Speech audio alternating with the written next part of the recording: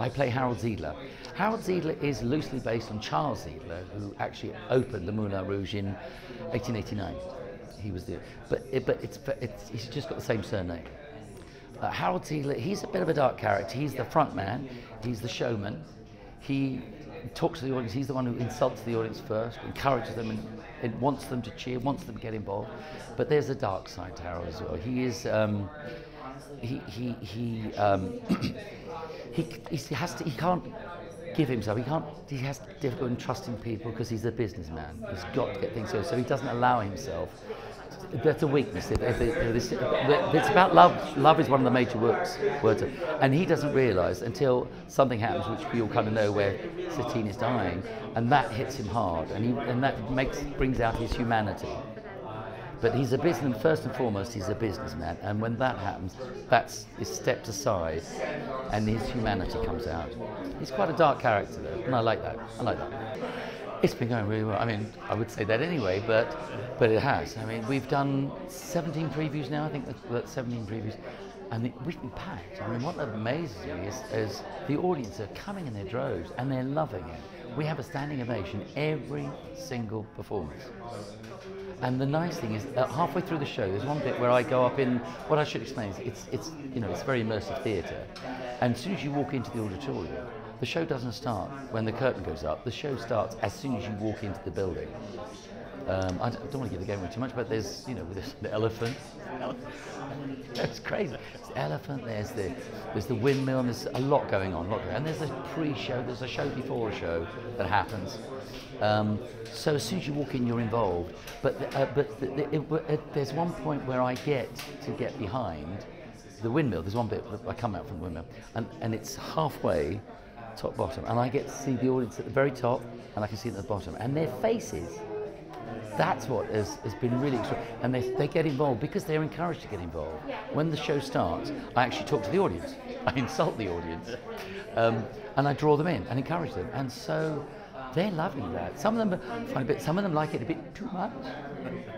It's fine. That's fine. Yeah. And want to get involved? That's fine. That's what it's about. Um, but they do love the show. I mean, it, it, the reaction at the end is what is extra. I mean, literally, standing ovation from the very top to the very bottom. I mean, You can't ask for more than that. And they, I think they, they go out with a big smile on their faces. I mean, the last show I did, which was Come From Away, you couldn't get further from Come From Away than this. It, it is different because, because the show starts as soon as you walk into the building. You know, a normal show, you know, you sit down and the curtain goes up and the play or musical starts. This doesn't. This really is immersive. So that's the difference. It, it- you are you as an audience, you get involved the moment you walk in, and you're encouraged to be involved. You know, right up to the very end. And then, and there's a show within a show, and then there's another show within a show, and there's so much going on. Well, for me, the choreography is Sonya's done an amazing job. I, I didn't know physically you were able to do it. I have to say, I don't do it.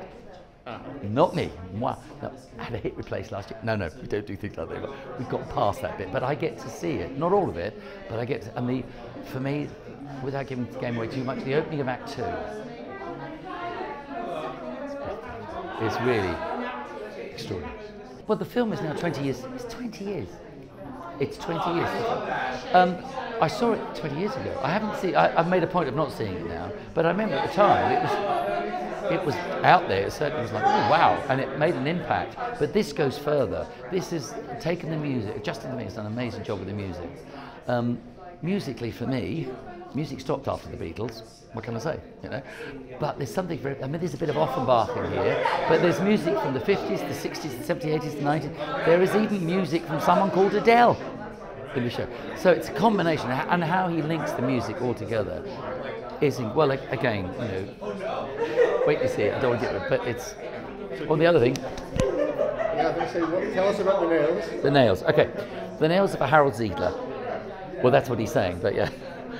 But the funny thing is, on uh, Monday, because I, I have to take it off at the weekends. I've got two little ones, and the agreement is, is I on a Saturday night, I go home, I take them off, and they can put it back on the Monday, so they have a day free with the admin. So on Monday, I've got my in-laws at the moment over from Italy.